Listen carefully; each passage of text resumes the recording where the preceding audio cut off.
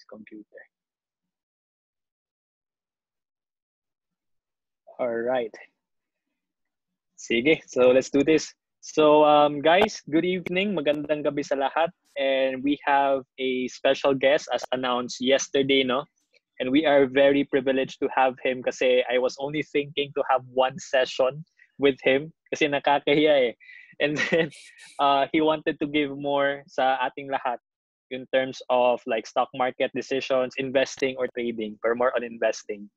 And just to give you a little bit of a background of Robbie, he is um, a business development associate of First Metro Securities. If you remember, when we want to invest in the stock market, we need to have a brokerage firm.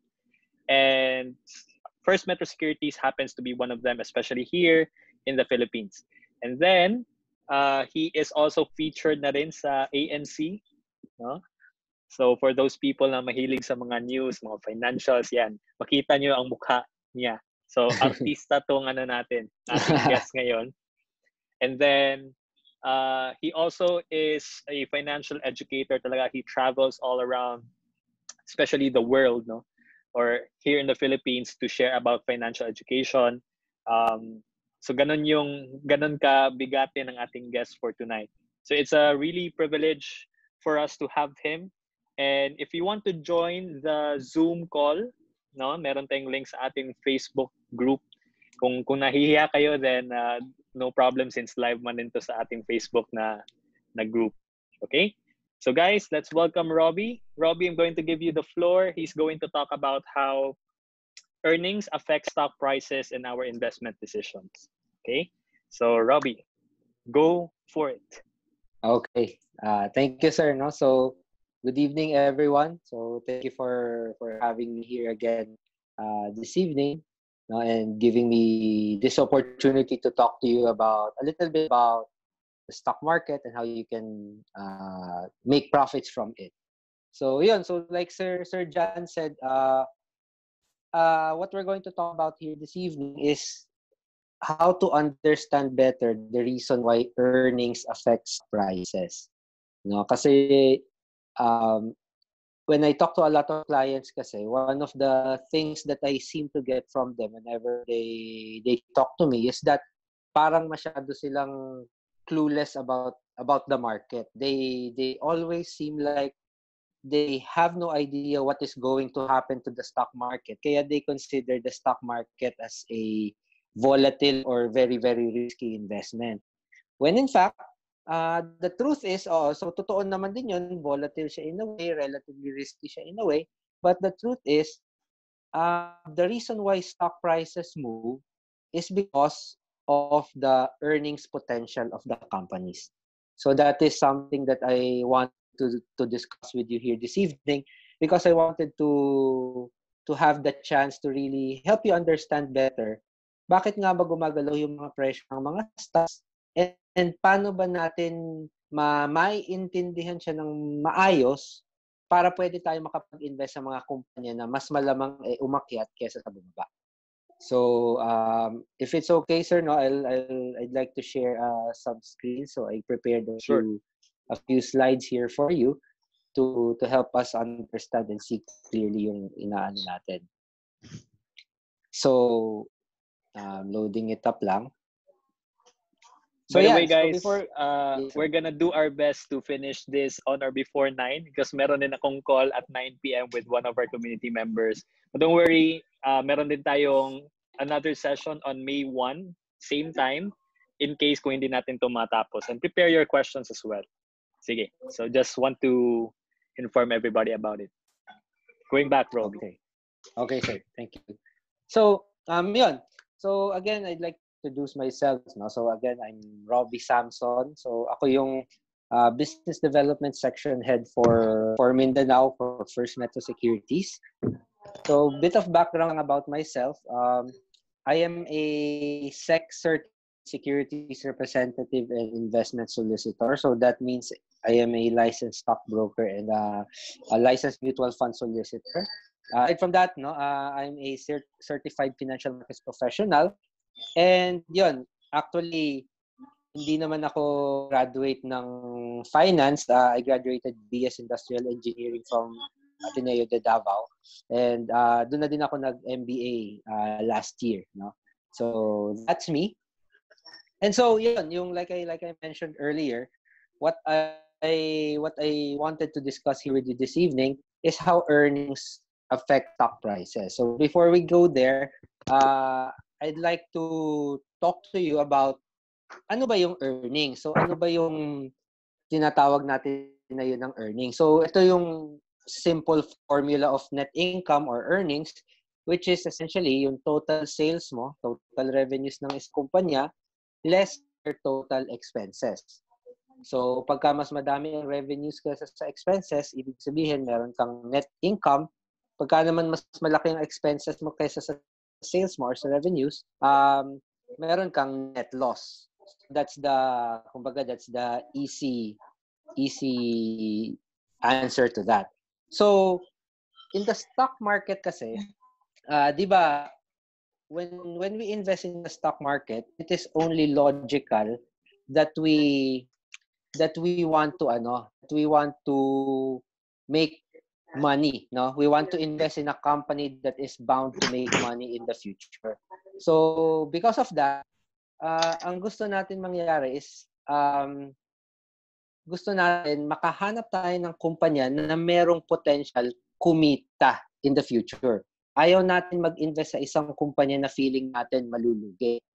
Di ba? Because otherwise, we would also be losing money in our investments. So gusto natin malaman kung anong kumpanya ba yung kikita at kung anong kumpanya ba yung kayang palakasin at pataasin ang kita niya year after year.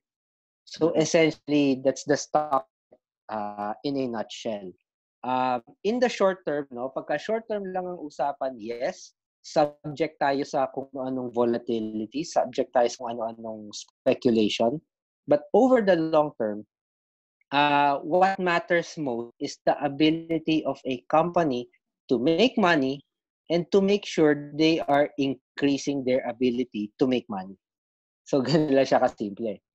Kaya, um, if you're wondering, no, if you're wondering, bakit, di ba, tataka kayo, grabe naman ang stock market, ang laki ng binagsak ngayon. Uh, may pandemic, ang laki ng binagsak. Bakit naman sobrang laki ng binagsak ng stock market? Why?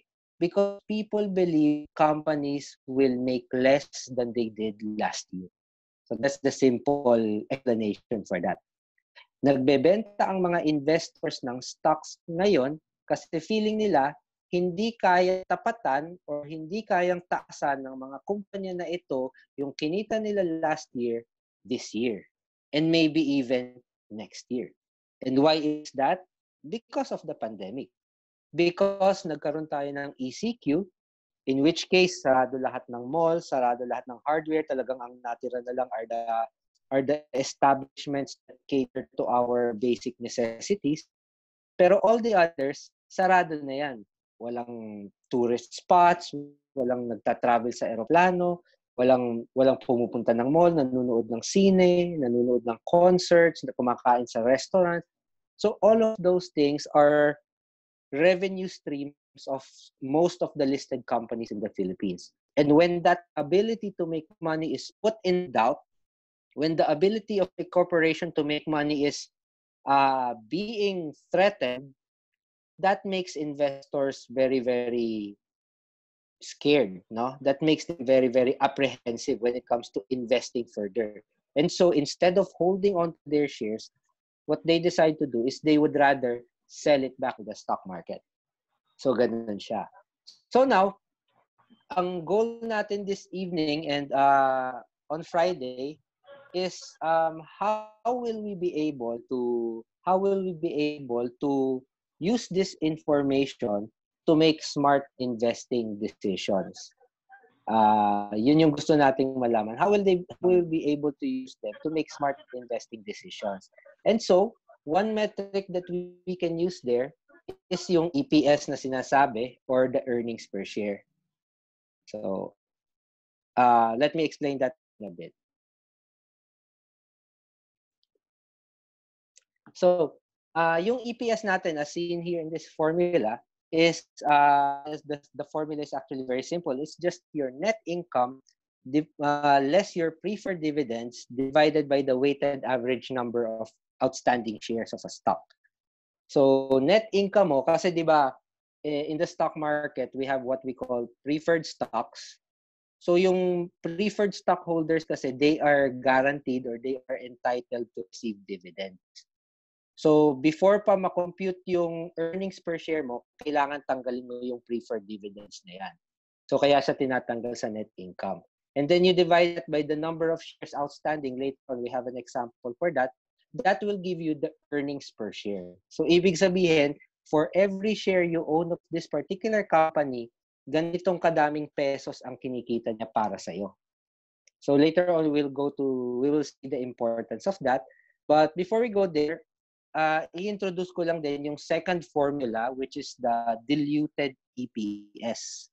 So dalawang klase kasi yung EPS natin. We have the basic EPS na nakita natin kanina and we have this right now yung diluted EPS formula. Ang nadagdag lang dito is that in addition to the shares outstanding, idadagdag mo yung mga yung mga pwedeng maging uh, converted common shares in the future. So, meron kasi minsan tayong tinatawag na convertible bonds, convertible preferred stocks. So, ang ibig sabihin uh, after certain conditions are met, yung bonds na yun or yung preferred stocks na yun, magiging common shares. So, ibig sabihin, pagka naging common share siya, dadagdag siya dun sa number of shares outstanding mo. So, lalaki yung denominator mo. So pag lumaki yung denominator mo, ibig sabihin, madidilute yung earnings per share mo. Uh, gets, di ba? Madidilute siya. So ibig sabihin, liliit yung earnings per share mo. So this is actually a more conservative way no to to compute for the earnings per share of a particular company kasi it takes into consideration all of the options, warrants and other dilutive securities that may be in the in company.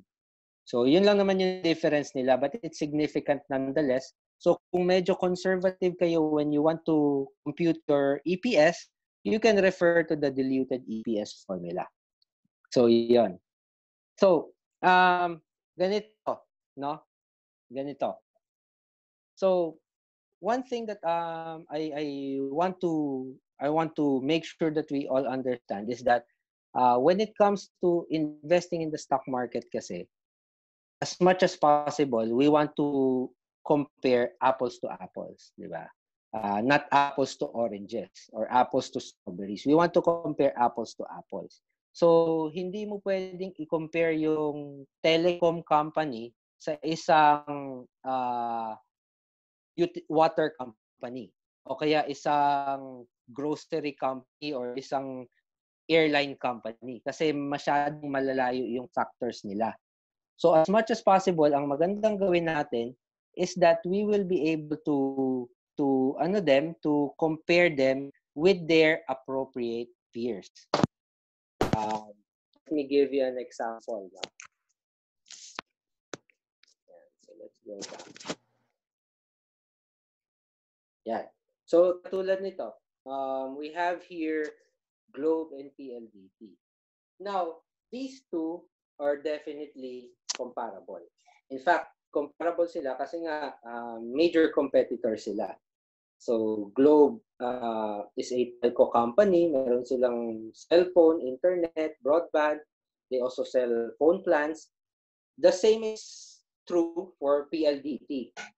Now, aside from that, uh, if you'll notice here, makikita ninyo, yung market capitalization, meaning kung ano yung, kung gaano kalaki yung kumpanya nila, halos pareho lang sila. Ang market capitalization ni Globe is 300 billion pesos, while the market cap of PLDT right now is at around 260 billion pesos. So, magkasing laki sila na kumpanya. So, in that regard, medyo comparable talaga sila. Kasi hindi mo pwedeng i-compare si Globe sa sari-sari store, di ba? Hindi mo pwedeng i-compare si Globe sa isang maliit na na property company. kung masyadong malayo ang market capitalization nila. So you have to be able to compare them with similar uh, comparable companies. So yung shares outstanding natin, yun yung sinasabi natin na ginagamit sa formula to compute the EPS. So yung market cap po, uh, it is computed by simply multiplying the shares outstanding with the market price of the stock. So 2,258 times 133 something million is going to give you 300, 300 billion in market cap. So ganun po tayo mag-compute niyan. So that's that's the first thing. So now, in the stock market kasi, no, um, one thing that investors care so much about is not just whether the company is making money, but whether the company is able to grow the money that it is making. Diba? So hindi natin tinitingnan lang kung whether kumita ba or nalugi yung kumpanya. So hindi yun enough for investors. Ang gusto ng investors nakikita nila kung yung kinita mo ba kaya mong taasan sa kita mo this year or next year or the year after that. So you want to make sure that the company is able to to really grow its income year after year. Why? Why is it important to grow your income? Kasi pagka nag-grow ka ng income, it's like saying your your company is getting bigger in size, di ba? Is um, growing. So pagka ibig sabihin, pagka kumikita or tumataas ang sales mo, ang revenues mo, most likely ibig sabihin niyan, nag-i-increase din ang iyong market share. So you are taking sales from your competitor.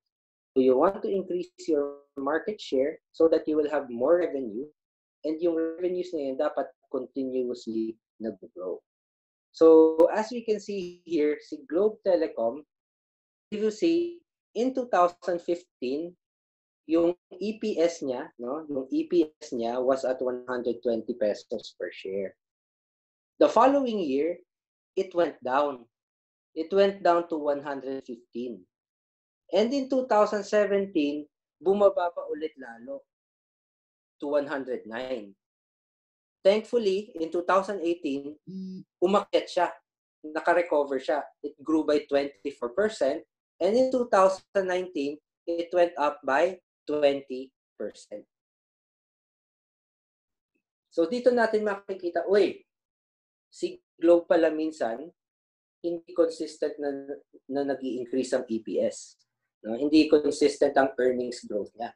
So what could be the reason? So now, if you want to, if you're considering investing in Globe, one you have to consider is whether you have to find out why is Globe no? Why is Globe um, not making uh, not growing its earnings from 2015 to 2016 and what made it grow its earnings from 2017 to 2018 so those are things that you now have to understand better. Kasi uh, as i will show you again in a later example this is very important for a lot of investors pagka nakikita lang consistently kaya mong palakihin ang earnings growth mo, most likely, maraming magpapatronize or marami ang bibili ng shares mo. If not, they are likely to sell it. And I will show you this example later. So here, we can also see from this chart,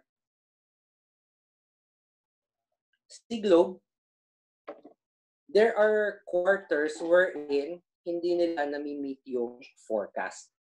So what do we mean by forecast? Kasi um, each company, no, each listed company, they have what they call their um, investor relations arm. So yun yung uh, department ng kumpanya nila na nagko-communicate with the brokerages, with the investors on what they can expect from the company in the near future. So sila yung sasabi na, ah, Globe, uh, Globe expects to spend 20 billion pesos on building towers next year. Or Globe expects to make uh, expects an earning growth of 15% in 2021. So sila yung nagko-communicate. No? Aside from that, inaaral din siya ng mga analysts and so they come up with forecasts. So when things happen, no, when when when events happen that will make a company either go below or go above the forecast, they will have a, a direct impact in the share price of a company. So ano bang ibig sabihin natin dyan? This is the this is the stock price of Globe. Now, this is the stock chart of Globe from 2015 until uh, until today. So makikita ninyo, 'di ba nakita natin kanina, from 2015 to 2017, ano yung nakita natin? Bumabagsak ang EPS ni Globe. Di ba? Bumabagsak yung EPS growth niya. Hindi nag-grow. Hindi lumalaki. Kumikita pa din si Globe kasi net income pa din siya. Pero yung kita niya, hindi lumalaki. Lumiliit. And so, lumiliit ang kita ng isang kumpanya, makikita ninyo from 2015 to 2017, ano yung trajectory ng share price ni Globe? Bumabagsak. Yeah, bumabagsak siya.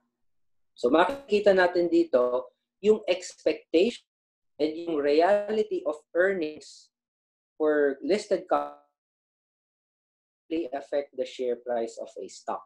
So yun yung nakikita natin dito. From 2015 to 2017, here, let's revisit it. Yan. 2015, 2017, bumagsak si Globe from 120 pesos per share ang EPS niya to 109. The stock chart reflected that same sentiment. Bumagsak din siya. Afterwards, nakita natin from 2017 to 2018 and 2018 to 2019, umakyat naman yung EPS ni Globe, yung growth niya, no? Tumaas ang EPS and so nag-exhibit ng growth. So what happened? Medyo nag-consolidate lang siya. Medyo flat lang siya for the past two years. So now you would be wondering, no? You might be wondering, bakit ganun? Nung bumabagsak yung EPS ni Globe, bumabagsak ang stock price niya. Pero bakit ngayon na umaakyat na yung stock price niya, eh, hindi naman din umaakyat yung chart ni Globe. Flat lang siya. Hindi siya bumabagsak, pero hindi din siya umaakyat. Di ba? So you might be wondering that. Um, siguro, now would be the perfect time to, to ask you, is there, has there been any reason recently, no? Has there been any reason recently for Globe to to be trend in their industry? So meron ba? Meron bang developments recently over the past few years that would make you think twice about the position of Globe? Di ba sabi nga natin, gusto natin nag increase ang earnings. Why? Because it means umaakit ang revenue. And pag umakyat ang revenue, most likely, it will increase your market share. So ngayon, hindi siya umaakyat. Is there a development out there that might threaten Globe's ability to increase their market share or even maybe lower their market share? Uh, siguro papasok sa inyo. Yes. Yeah. Yes. For for me recently siguro is was the the news about having this third telco. Possible ba 'yon na factor ng bakit parang nag-dip konti yung price niya? Ayun. So actually talaga So that is the that is the exact reason why investors are hesitant to fully trust Globe again kahit na nag-exhibit na siya ng ability to recover their earnings. So yun talaga yun kasi alam natin si Dito Tele which is poised to be the third telco in the country is being yun, it's being supported by the government, it's being helped by the government to to secure the necessary franchises, permits. Tapos yun nga, they're trying to open up the industry to more players, no? to, to make the competition higher so that the services will ideally be better and then the prices will ideally be lower. So because of that, since threatened yung position ni Globe and of course ni PLDT, kahit nagpapakita ng magandang earnings si Globe, hindi pa fully ma makatiwala ng 100% kumbaga yung investors. Kumbaga, may tiwala sila kay Globe pero hindi pa yung sobra-sobra kasi hindi pa nila dinadrive up yung prior than yung all-time high niya 2,700 pesos per share. So that's how those are the dynamics at work when it comes to to the stock market, no?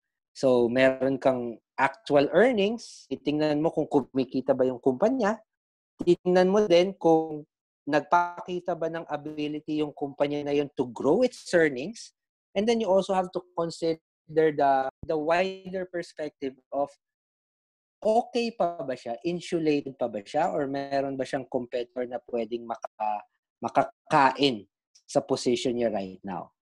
So, yun yung ganon. So, those are the dynamics at play. So, let's take a look naman. Uh, let's take a look at PLDT. So, let's take a look din at PLDT. And we can see here, PLDT out the same. Bumaba yung earnings niya, no, yung EPS niya from 2015 to 2017. And then 2018 to 2019, nag-recover din siya. So supposedly, iisipin mo, uy, nakaka-recover na si PLDT. Di ba? Um, things should be looking up for PLDT. Now, this is their forecast then. So let's look at the stock chart naman of PLDT. It's still going down. Why? because people still believe na yun nga, there is competition in the horizon. And they are unsure of how, right now kasi hindi pa nila alam yung capabilities ni Dito Telecom. Eh, diba? But so far, what is being promised is that they will do their best to to cover a lot of areas immediately, to provide um, good services, better services. And so, uh, medyo medyo nate-threaten din yung position ni PLDT. A little bit more so than Globe right now. No? Kasi si Globe at least siguro medyo medyo wala kasing bad investment kasi isang bad investment si PLDT. Eh. So si Globe wala kaya hindi naman tinamaan talaga yung earnings nila ng sobrang laki. But PLDT didn't. So right now, it's still basically near the bottom, no? Near the recent bottom. As you can see, it's at around 1,200 pesos lang. So, uh, the point lang here is, is that that's how much the prospect of earnings uh, play in the stock market. Essentially, no, essentially, yun lang talaga ang dapat isipin natin. Before we invest in a stock, let us question whether it seems to have the ability to make more money in the future. If it does, more and more people will buy it later on. If it doesn't, more and more people will sell it later on. So it really is kumbaga that simple, no? So just to show you further, no, the the impact of earnings, no, kung gaano ka importante. Let's look at this example. This is Ayala Land, no. And this is the stock chart of Ayala Land from 2019 to uh, 2009 to 2019. Essentially after the recession. Ito yung stock chart niya. Kung makikita natin, ang PSE in the same time period, it made 300%, but si Ayala Land, it more than double the performance of the PSEI. So it made 650% in 10 years. And as you can see dun sa dun sa parang chart natin below, um, it continuously increased its income. 2014, 14B ang income niya. The following year, it became 17. The following year, it became 21. The following year, it became 25. And then, in 2018, naging 29 siya. So, ibig sabihin, during 2009 to 2019, no, people were ex- expecting uninterrupted consistency for Ayala Land. And since Ayala Land was able to deliver on that promise, they were able to deliver on the expectations of uh, investors, investors just on buying Ayala Land. So much so that they were able to outperform the index. So over the long term, yun talaga yung mangyayari. 'di ba? Yun talaga yung mangyayari. People will gravitate towards more and more money in the future. So it's not a matter of hindi lang ang tanong dan is kumikita ba 'yan? 'Di ba? Kasi minsan yung iba ganun lang yung nagiging tanong. Ayoko mag-invest sa company na nalulugi. Gusto ko doon sa kumikita. No, we have to make sure that the peop- the companies that do make money are able to keep increasing it.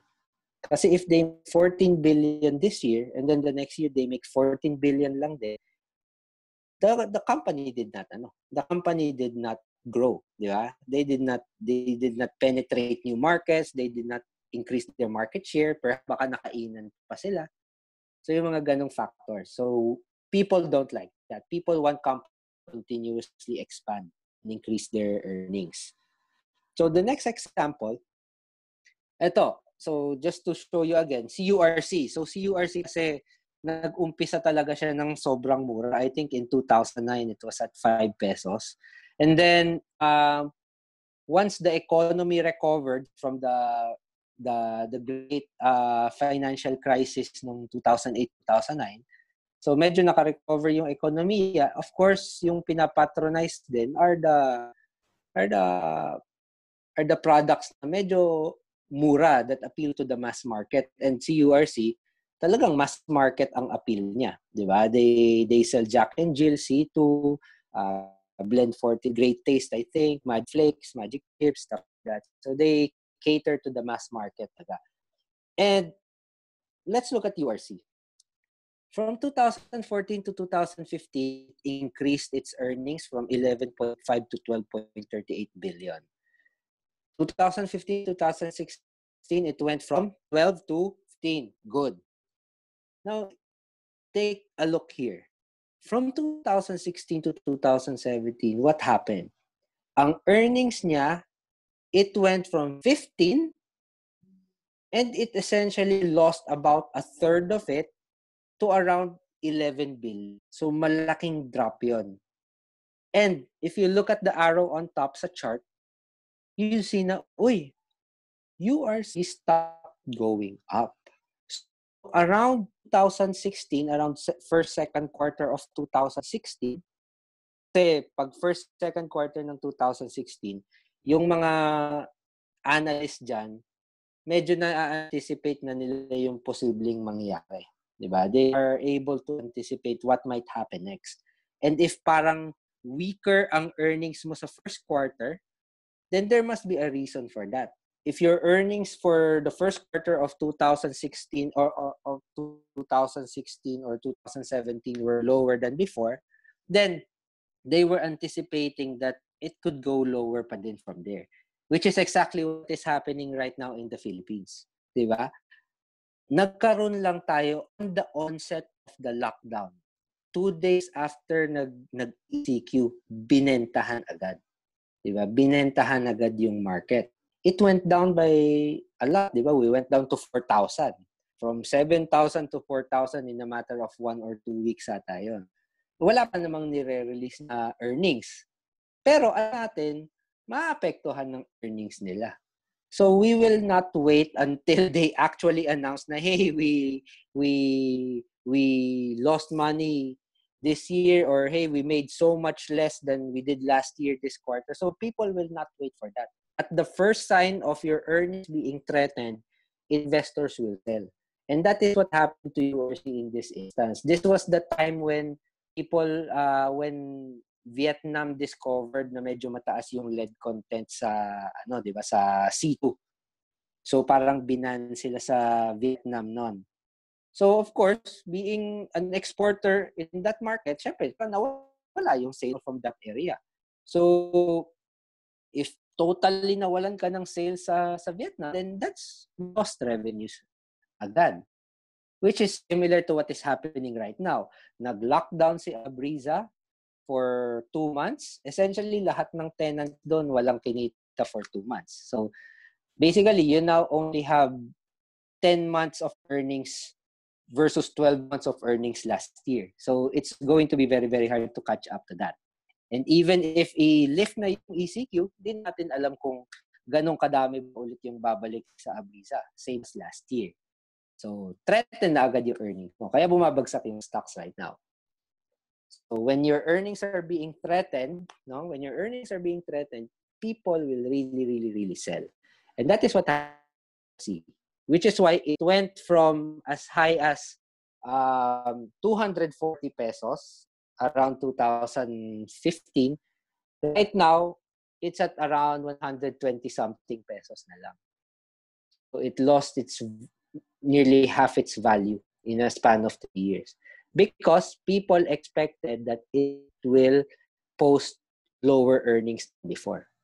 And which is what happened then from 2016 to 2017 went from 15 to 11. 2017 2018 it went from 11 to 9. It went lower. When people now believe that it will go higher, that's the time they will start buying. And when URC does post that they are higher, more and more people will buy it. So yun yung dynamics at play when it comes to this.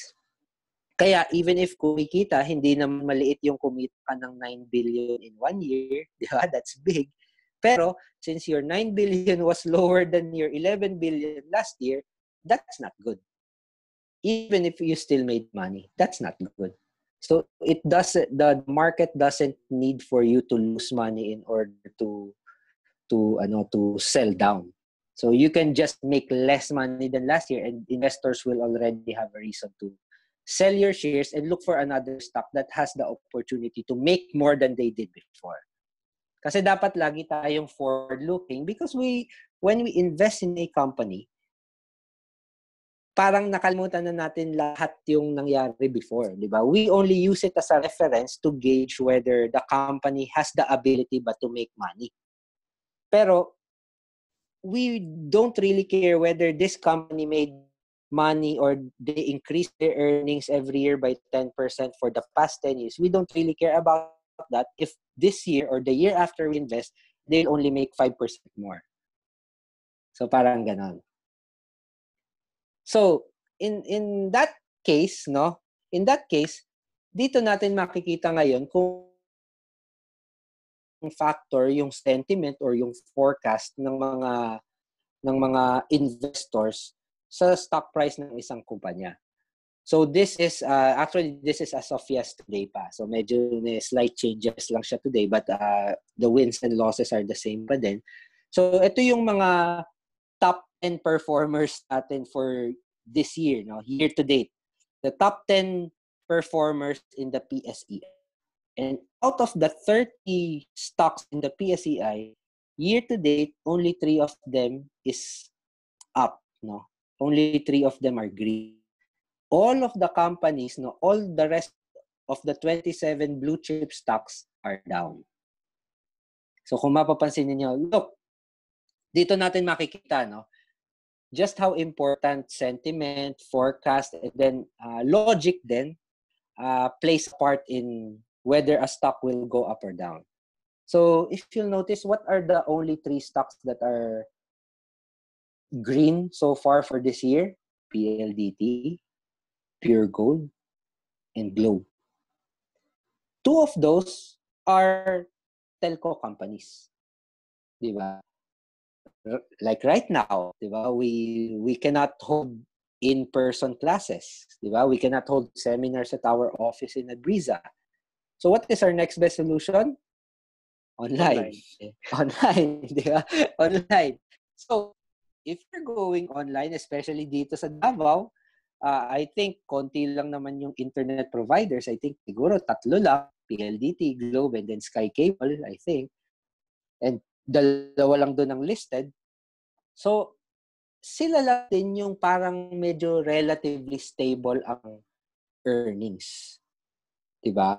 Or merong at at the very least even though it's not guaranteed they the very least are in the best position to make more money now than they did before. So, ako kasi syempre, uh, ang thing ko naman is uh, Siyempre, to remain conservative, di ba, parang let's assume na lang na now is not the right time na magpaputol ka ng internet.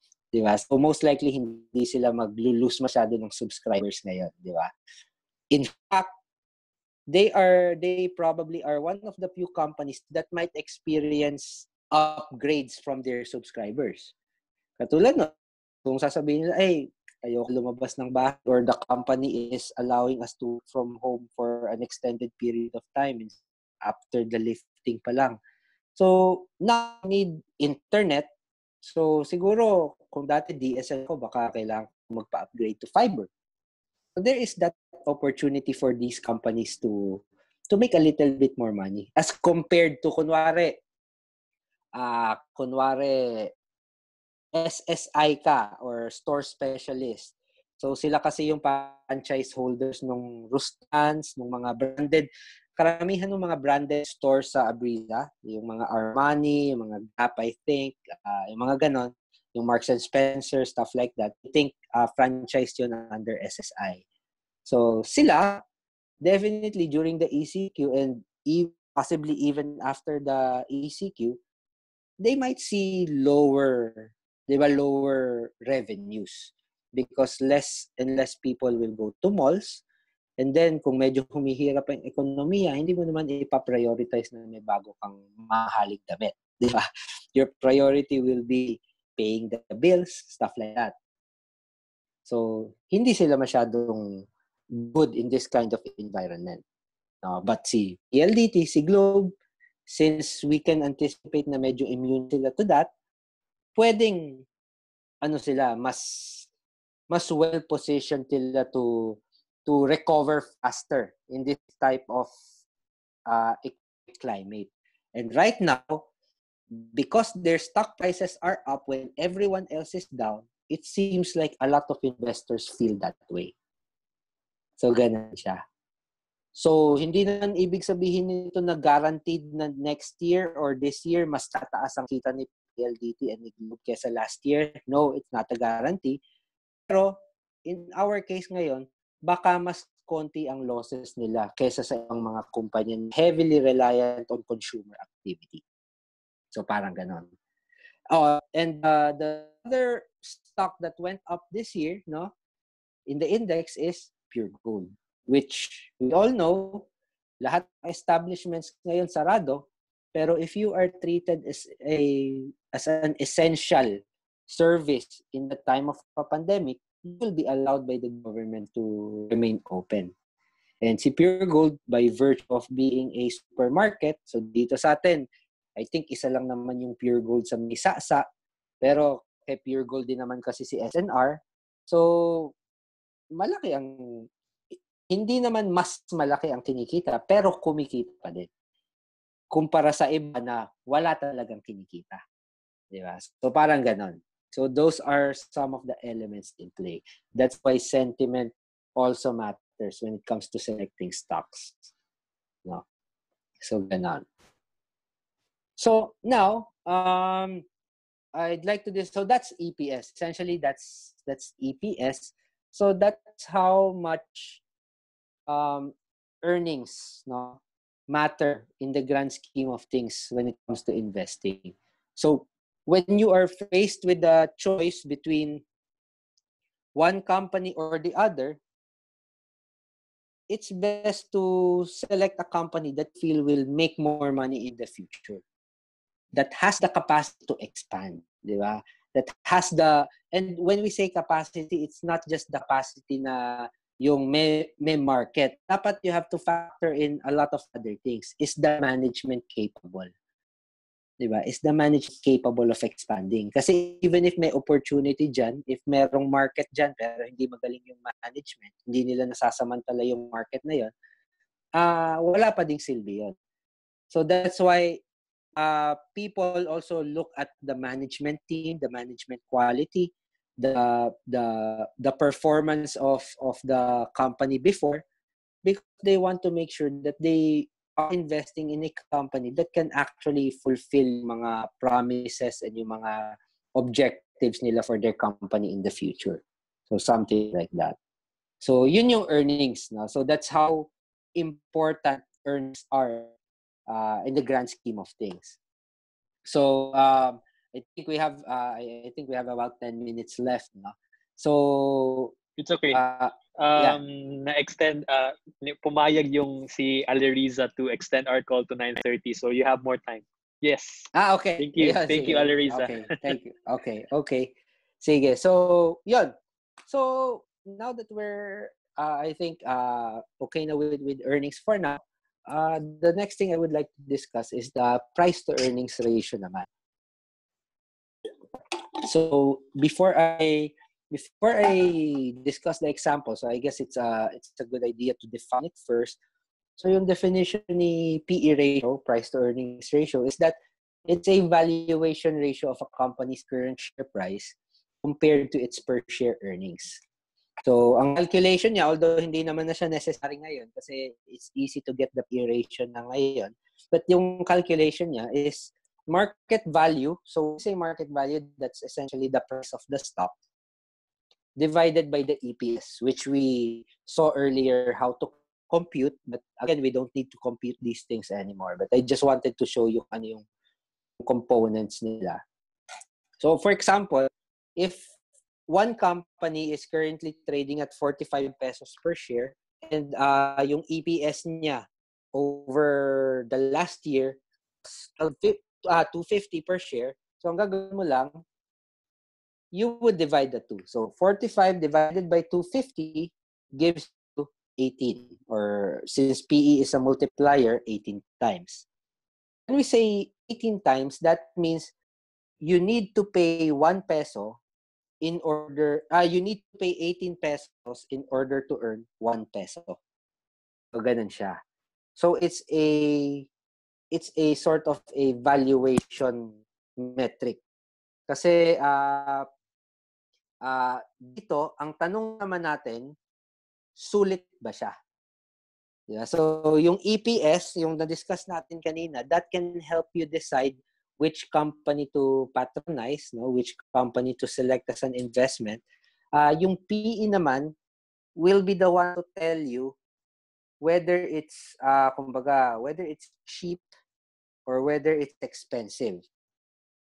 Cheap or expensive compared to what? It could be compared to lots of different things. Compared to its historical prices, compared to its competitors, compared to its sectors, So, madami kang pwedeng gamiting comparisons. No? So, we will go through them uh, one by one. So, yun. So, let's say merong company A and company B. So, let's say both of those companies are relatively same. No? So, they let's assume that they are very, very, very similar in nature.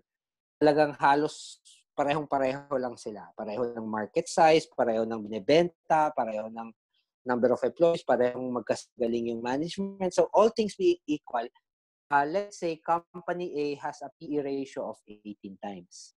So meaning you need to pay 18 pesos to earn 1 peso. Whereas company B, let's say ang PE ratio niya 12 times. Meaning you need to pay 12 pesos in order to earn 1 peso. So given that, doon natin makikita sino doon sa dalawa na yon ang mas mahal, sino doon ang mas mura. Is it company A na you need to pay 18 to earn 1 peso? Or is it company B that you need to pay 12 pesos to earn 1 peso? I think the answer is obvious, no? It's company B. Mas mura mm-hmm. si company B. Kasi 12 pesos lang ang ibabayad mo to earn 1 peso. Company A, 18. So from that perspective, uh, company A is more expensive than company B. And um, to me, that's important, no?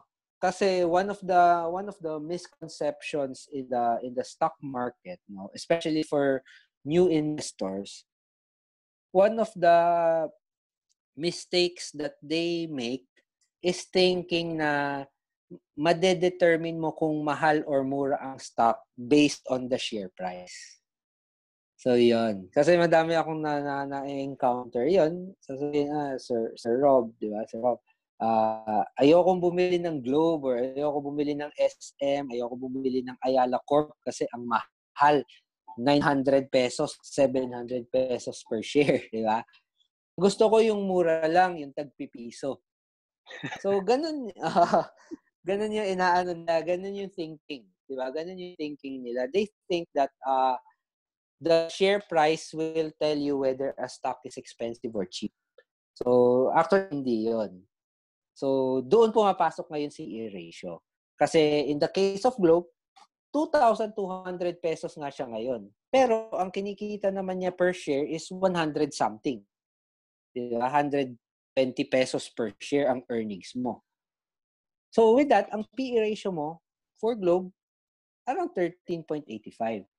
Whereas, kunwari, especially right now, medyo popular, si Dito, Dito CME Holdings. So, uh, gagamitin ko lang siya pero technically hindi na, natin dapat uh, i-compare yung dalawa kasi uh, si Dito CME Holdings is not a telecom company. This is a holding company. So ang minsan kasi ibang investors ang akala nila since nasa loob ni dito CME dito Tel uh, siya na si dito Tel talaga. So technically hindi.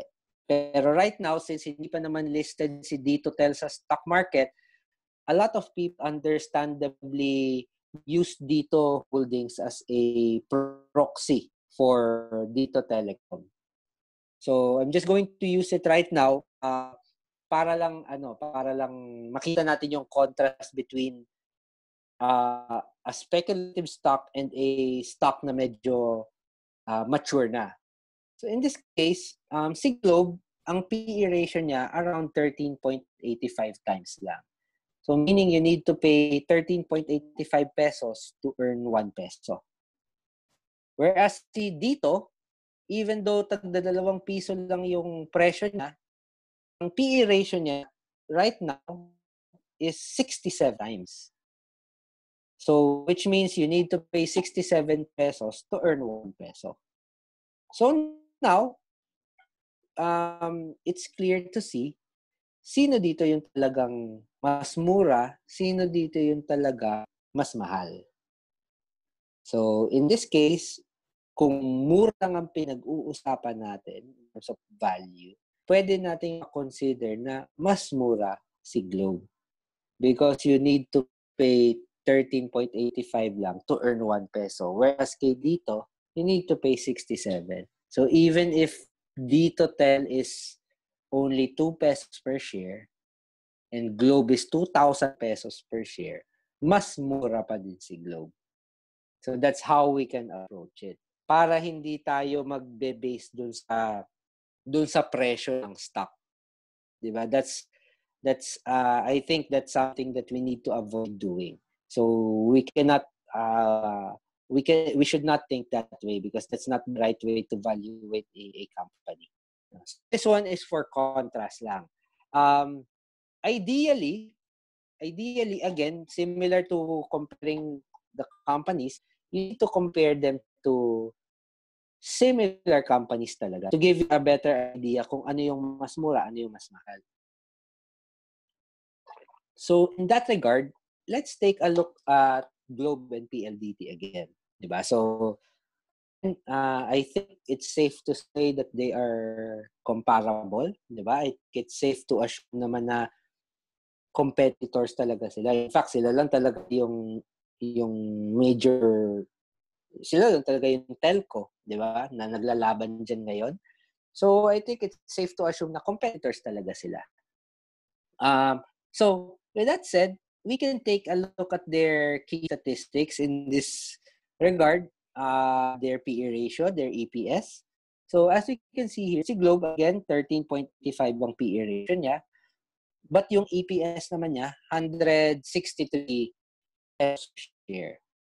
Si PLDT naman, based on the PE ratio, it seems like PLDT is cheaper by about uh, 2 pesos, no? It's about 2 pesos. Ang PE ratio niya is only 11.8, uh, 2 times pala. So, 11.8. And then, ang EPS niya is around 102 pesos per share.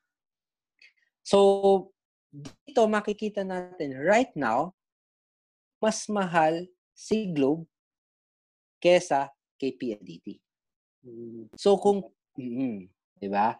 So kung purely value lang ang pinag-uusapan, kung gusto mo lang makita yung sino yung mas mura talaga sa kanila, the easy conclusion to make would be PLDT. Yeah, PLDT. So now, 'di ba? Now kasi we don't the the PE ratio kasi should be used as a decision tool but it should not be the only thing you use no So, now, tanong naman, bakit ganon? Bakit na mas mura si PLDT, eh meron pa ding bumibili kay Globe? Uh, in the case of this particular, as of yesterday, si PLDT down ng 2.66% hapon, si Globe up ng 2.17% kahapon. Pero nag-umpisa sila na mas mahal na si Globe kaysa kay PLDT. So, oh, with it, before the trading day started kahapon, in terms of PE ratio, mas mahal si Globe kaysa kay PLDT, pero still, investors bought Globe and sold PLDT. So, minsan magtataka ka, di ba? Medyo magtataka ka. Bakit ganun? Bakit hindi na lang bumili ng PLDT yung mga tao? Eh, mas mura pala si PLDT. Bakit hindi na lang si PLDT kaysa kay Globe? So, diyan na ngayon papasok yung um, other analysis that you can employ. Kasi yung mga yung mga investors, they don't just look at the PE ratio, although they use it, they emphasize it, but they don't just look at it, they also consider other factors. So what are those other factors? It could come in the services. Diba? Uh, sino ba ang mas madaming area ang nako-cover? Sino ba ang mas maganda ang quality ng broadband ng LTE? Sino ba yung nag nag nag nagbibigay ng mas magandang services or mas magandang freebies? Sino yung mas mura ang mga plans? Sino ba yung mas accessible ang branches, stuff like that? Sino ba yung mas maayos ang ang sales, ang customer service, stuff like that. So those are things na you the, the investor thinks about and kaya ibig sabihin nito right now even if PLDT is cheaper no in terms of the PE ratio by virtue of Globe having having a higher PE ratio, it seems like there is a little bit more positive sentiment with Globe as compared to PLDT. Parang ganun. Kaya binibilhan pa din siya. No? But things could change, of course. No? So what will uh, instigate or initiate those changes? Developments in the company. So that's something that we can watch out for when it comes to deciding on what companies to invest in in the future. So, um, yun. So, again, we can use the PE ratio to compare one peer or one company to another. What we have to remember lang ah, is that we have to compare similar companies talaga. 'Di ba? Hindi natin pwedeng compare si Ayala Land sa isang maliit na property company. Kasi magkaiba talaga yan ng ng magkaibang usapan yan. Kahit pareho sila ng sector magkaibang usapan yan. So ganon. So that's uh, comparing a company to other company. The next thing is that we can actually compare the PE ratio of a company to the PE ratio of the sector. So pwede din yan So, di ba, the, in, the stock market is made up of over 200 companies, over 300 companies, I believe. Uh, bawat, so within that market, meron tayong tinatawag na sector. So, nakadivide yan according to the sector that the company belongs in. So, meron tayong property, holdings, financial, services, industrials, uh, mining and oil, stuff like that. So, meron tayong mga iba-ibang sectors. Now, uh, in this particular example, this is the services sector of the Philippines. Now, ito yung services sector sa, in the, sa stock market natin. And yung iba, no, yung iba, kino-compare siya against the PE ratio of the sector. Um, unfortunately, here in the Philippines, uh, medyo mahirap compare sa sector sectoral PE yung PE ng isang kumpanya kasi as you can notice here masyado pang wide yung yung coverage ng isang sector.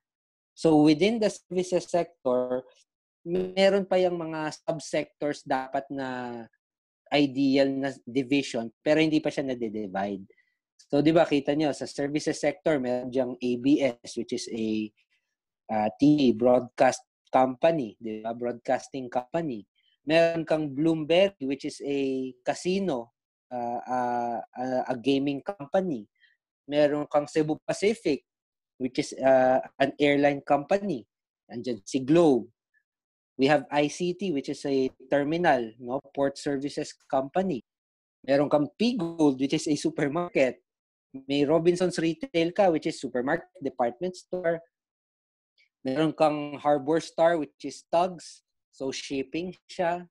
Meron kang PhilWeb na yung ano, yung legal gambling. May Wilcon ka na parang hardware. So, meron kang Macro Asia, which is yung mga uh, airplane airline services, nagre-repair ng mga eroplano. So makikita natin sa services sector, sobrang wide pa siya. So kahit pa pwede mong kunin yung PE ratio ng sector na to, mahirap i-compare yung yung PE ratio ni Globe versus PE ratio nung sector na yon. Kasi sobrang diverse nung nung inclusions nung sector na yon.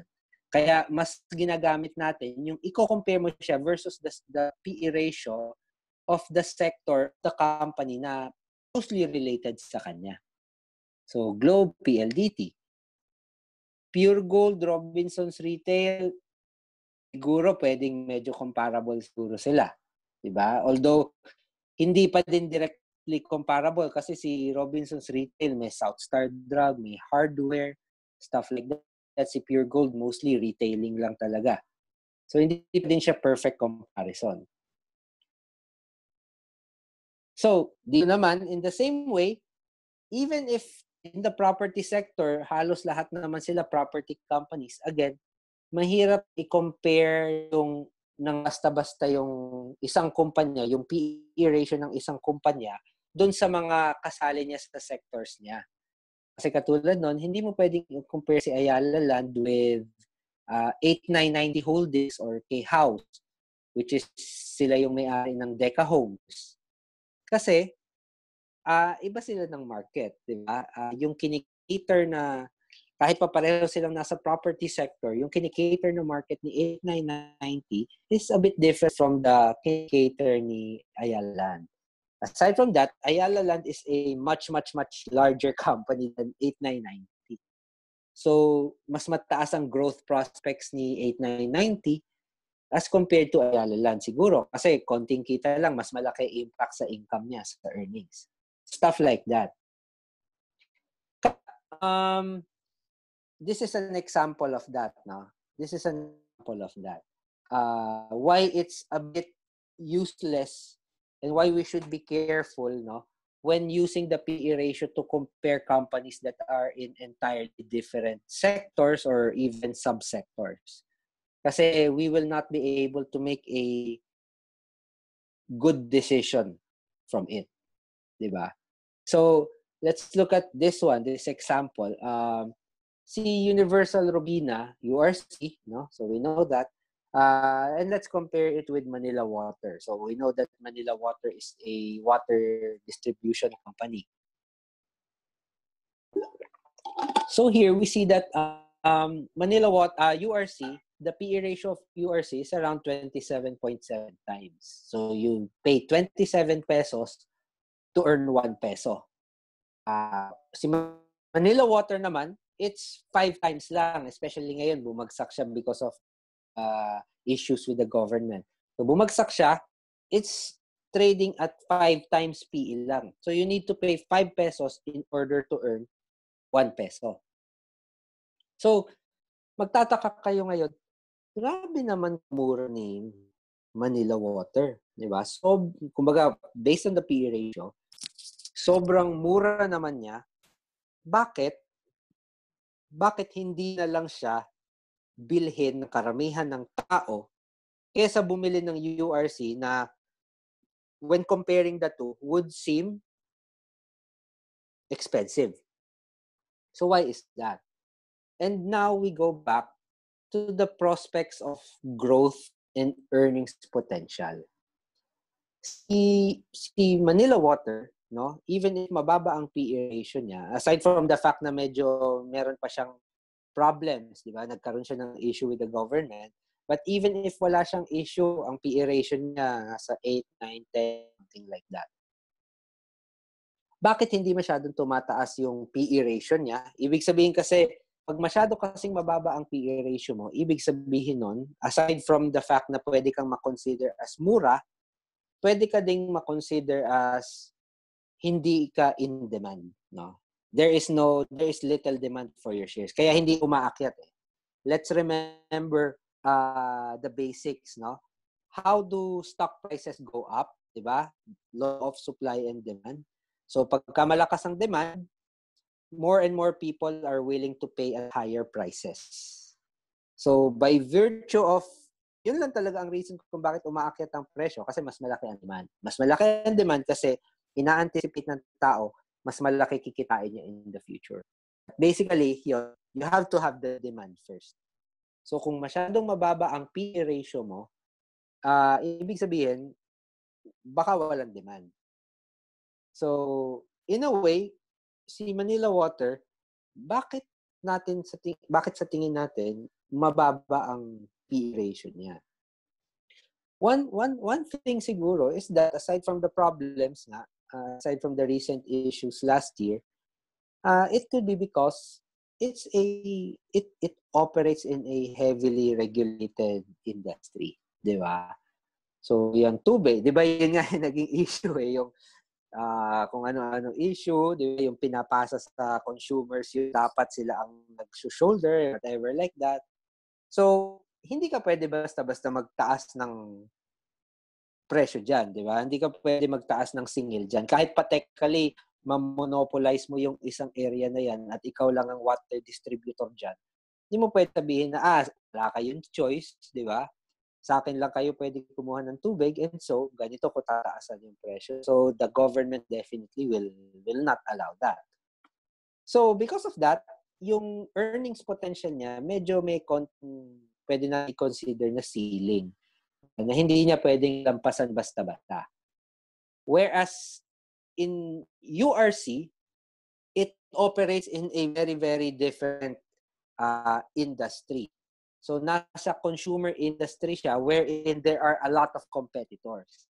And since there are a lot of competitors in that space with URC, basically, ano yan, parang, di ba, yung, basically, just just fight it out amongst yourselves since mali, mali ang relatively lower ang barrier to entry mo tapos uh, hindi ka pa heavily regulated uh, sila-sila na lang yung maglalaban. And so, pagka merong isang kumpanya na magaling or kaya mag-offer ng magandang produkto at lower prices or merong brand recognition like URC has with Jack and Jill, C2, Nissin, uh, great taste, stuff like that, may advantage ka agad.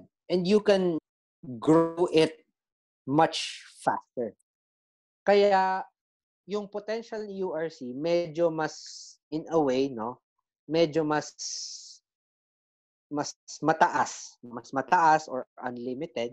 Kasi they really just have to find a competitive advantage. Yeah, they just have to identify where their strengths are. And right now, si URC, strength niya is offering good products at low prices. Yeah, yun yung biggest competitive advantage niya eh. Or pioneering products, stuff like that. So, once they are able to do that, pwedeng sila na agad yung ipatronize ng tao instead of other companies, instead of other products. And so that can cause their their sales to grow by leaps and bounds. 'di ba? So, pwedeng iba-ibang approach ang gamitin ni URC. Pwede nilang murahan, paumpisa. Tapos pagka na-penetrate na nila yung market, tsaka nila tataasan pag kilala na yung brand, stuff like that, mga ganung strategies.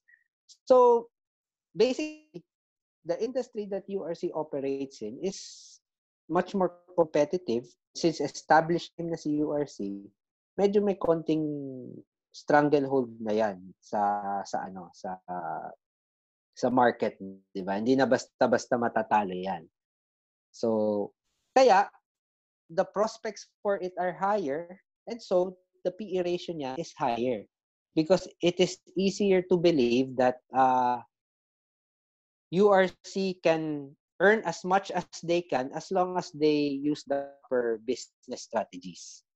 So, ganon. So, yun yung isang aspect niyan.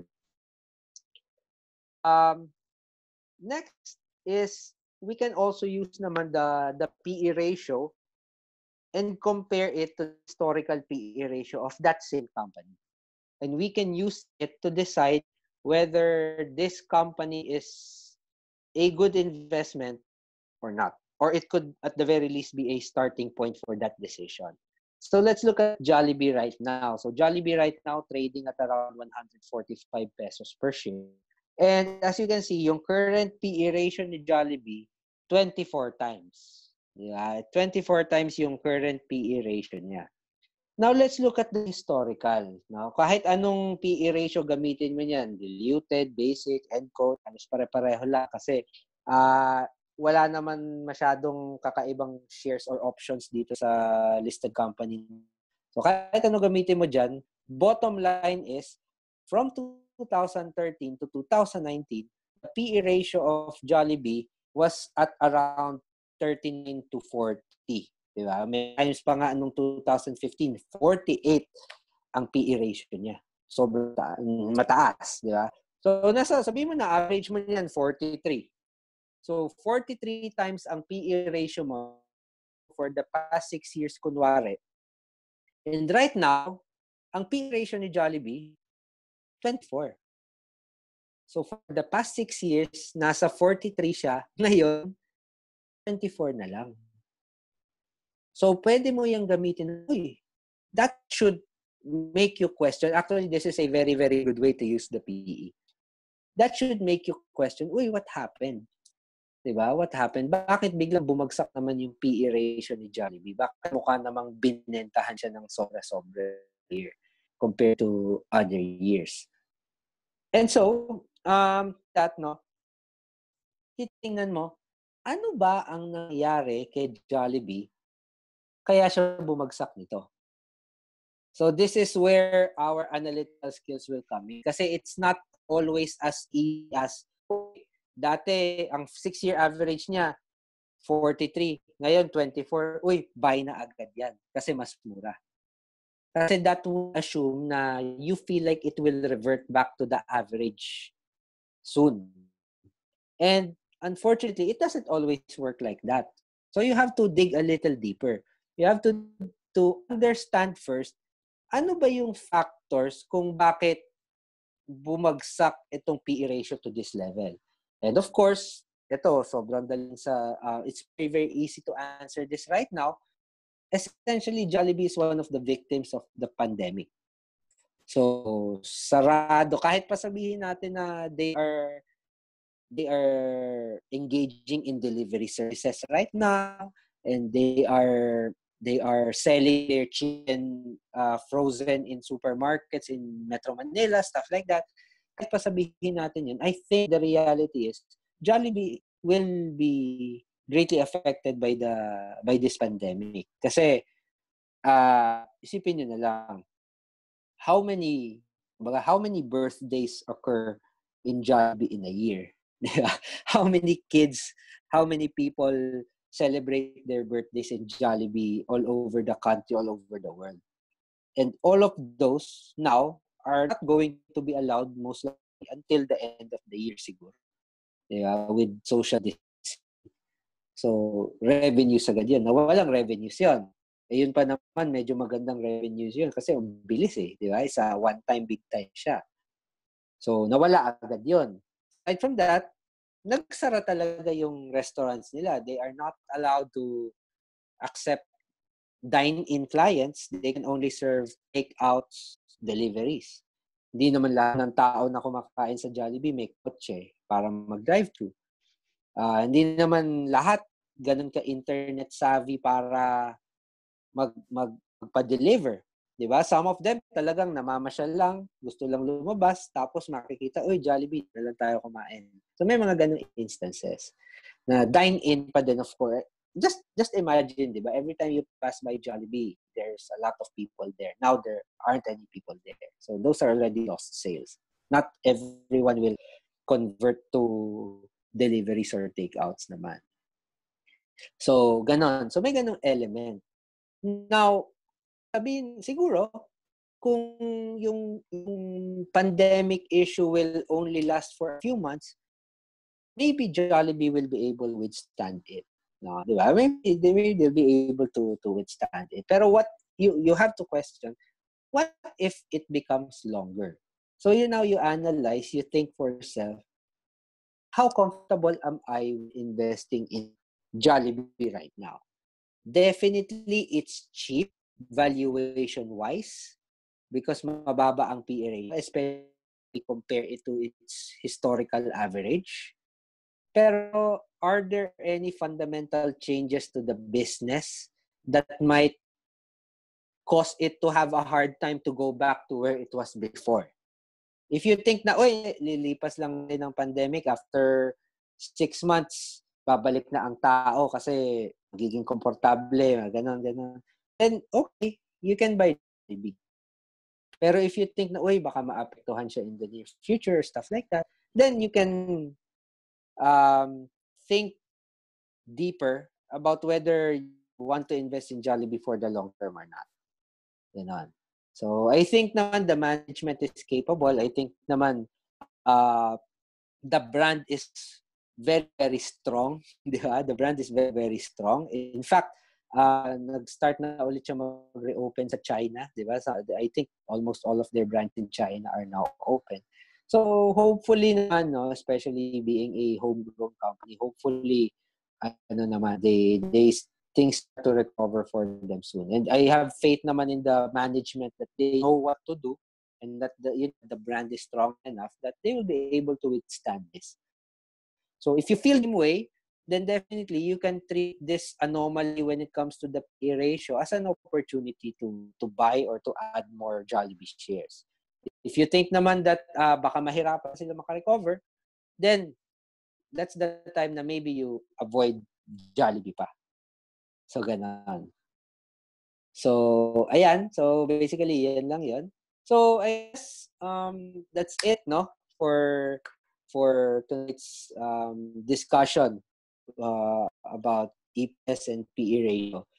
So, I I hope no na medyo na na-open up tayo dun sa dun sa ways of analyzing a, a, a company, the ways of investing in a company so that uh, we'll be able to make better investment decisions, which is even more important now.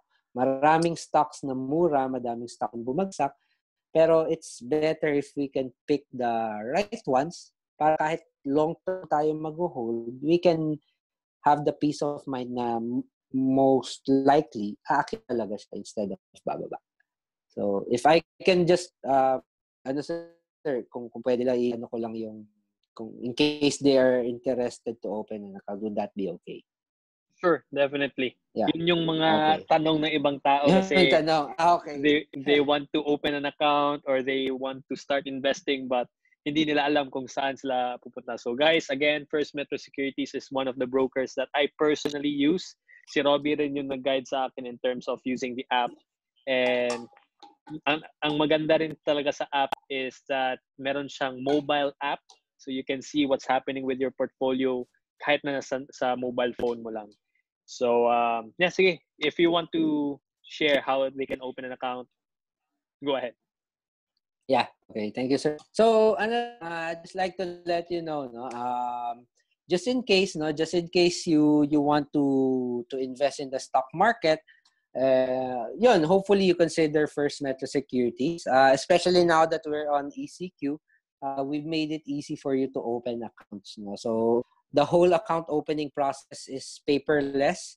So it's just essentially three easy steps no? So just if you want to take a screenshot or whatever uh, just visit our website firstmetrosec.com.ph uh, click on open account and then just essentially complete the online form provide the necessary details and after that uh, upload your documents online once you do you will be scheduled for a quick video call to verify verify and then within one to two days after that your account would, is ready for activation so you can now start investing in the stock market So wala na po kayo ipapadalang forms, no? You don't have to print out forms. You don't have to manually sign uh, any documents on our end. So it's all going to be done online. Just take screenshots of your IDs and then your your proof of bank accounts, bank statements, and ma-activate namin siya from there. Uh, and yun, if ever you're gonna join, no, or even if not yet, uh, yan, invite na lang din namin kayo to like our Facebook page. So it's First Metrosec uh, Facebook. And then after joining our page, you might want to also join our group, our community. So we have a growing community there. And yun, uh, in case you found this useful, no, uh, aside from from the present na, na YouTube and Facebook, you might also want to subscribe to First Metro's uh, YouTube page. Uh, may mga market updates tayo dyan, no? So, what we think is happening in the market. In fact, we have one tomorrow. So, yan. All of those things are at your disposal. Uh, this is one of the reasons why I specifically asked Sir Sir John to to uh, give me the opportunity to do kasi nga we want to be able to help you ed- elevate your your investing uh, prowess now. So, thank you sir. No, thank you sir. Thank you sir. Nice. All right. Wow. Grabe ang ganda ng ano, ganda ng session. Uh, nag-ask ako sa group kung ano yung if they're learning. Sabi nila, yes, definitely. Um, si Jason sabi niya yes. Si Mariah sabi niya yes. Si Pretzel yes rin. Yan si Melissa yes. Tapos the PE ratio is eye-opening. Yun. No, so mm. thank you, thank you so much, Robbie. Actually, yes. guys, as you can see, when it comes to stock market investing, um, we cannot learn this overnight, right? There are a lot of things. It's a process of learning, and we can sometimes, based on my experience, I have to, you know, parang nangyari sa akin, I burn some cash along the way.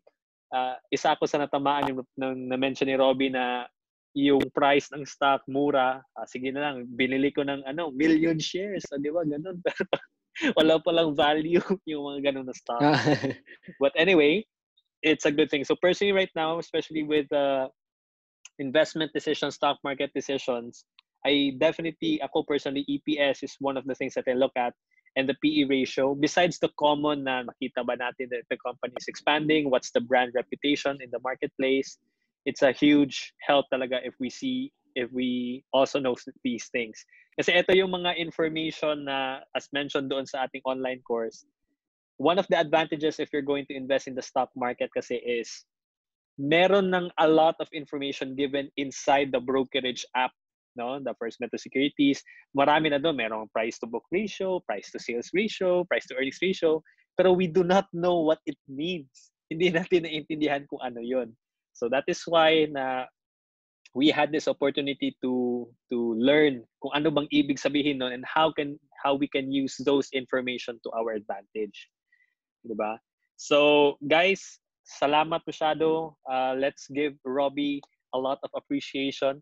Comment niyo na lang. Mahirap kasi virtually or appear na lang tayo sa kanya like ganon. And we're going to have a Q&A session on Friday. Unfortunately, we can't do it now. Kaya meron pa akong um, call with one of our community members dito. And so on Friday, May 1, that's a Labor Day, so holiday yan siya. Parang holiday na rin kasi nangyari sa buong mundo. And it's going to be at 8 p.m. still. It's going to be sa Zoom link. Kung gusto niyo mag-join sa Zoom link, which I really hope na mag-join kayo sa Zoom link. Um, if you want to have questions, if you want to ask questions specifically about the stock market, Robbie is the best guy to ask um, pagdating doon. So, wag kayong mahiya. No, I know some of us nahihiya tayo mag-ask. But don't worry about it. Right? And yeah. So, ganun. Inviting everyone again on May May 1 at 8 p.m. This is an advantage for us uh, to learn from Robbie as well. Okay? So Robbie, before we end, anything you wanna you wanna say to our viewers?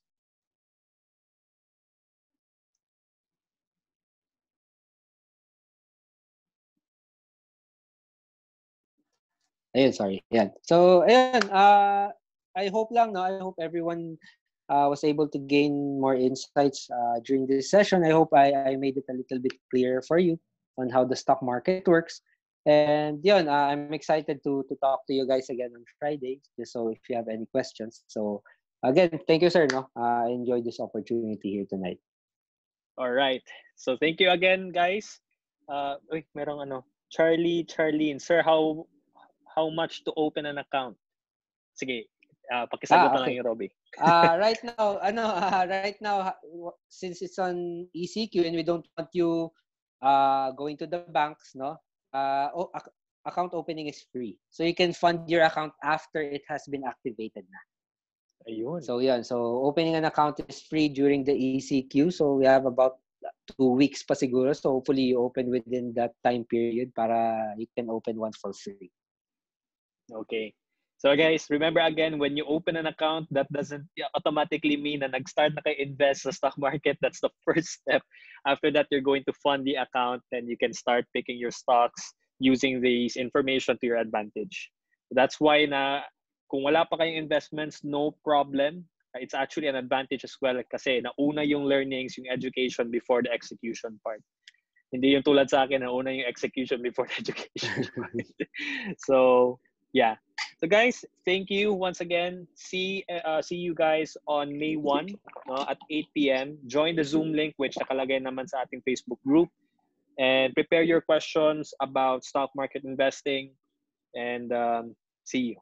Okay? So bye-bye everyone and have a great night.